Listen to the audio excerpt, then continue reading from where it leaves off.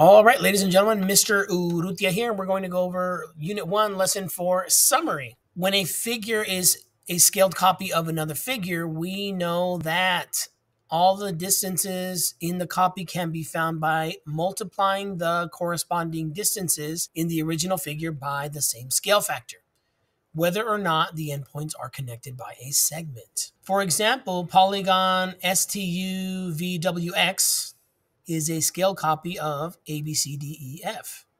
The scale factor is 3.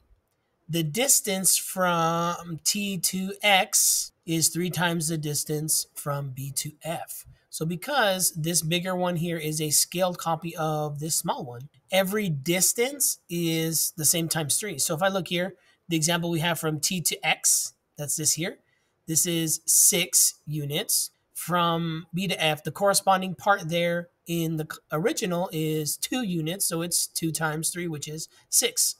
This will work with any of the sides that you measure, even sides that are not on the figure. So BC is on the figure. BC is 2, scale factor 3. When I check the corresponding side, TU, it's 3 times 2, which is 6. If I look here at this line segment here, it's not really on the figure, but it's in there. This is 1.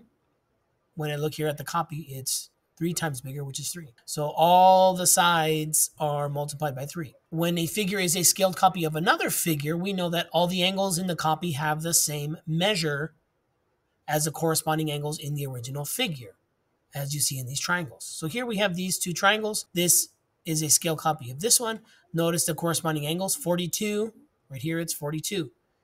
This angle up here in the top right, 60. Here, it's also 60, 78, 78 the sides change by a scale factor, but the angles do not change. And these observations can help explain why one figure is not a scaled copy of another. So for example, their corresponding angles have the same measure. So here we have these two figures. The second rectangle is not a scaled copy of the first rectangle because different pairs of corresponding lengths have different scale factors. So if I look here at this side right here, this is 2. Right here, the corresponding side is 1, so it's a scale factor of 1 half. But when you look at the top side, it is not a scale factor of one half. Three times one half is not two, so this uh, these are not scaled copies. The sides are scaled differently. Thank you, ladies and gentlemen.